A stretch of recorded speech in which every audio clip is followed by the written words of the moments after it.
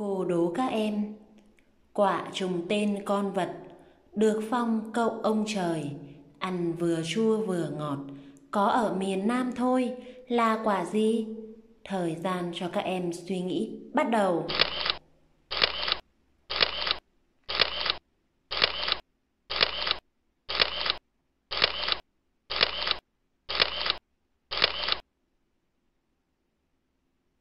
Hết giờ đó là quả cóc, hay còn có tên gọi khác, đó là quả xấu tàu các em ạ. Chúc mừng tất cả các em đã trả lời đúng.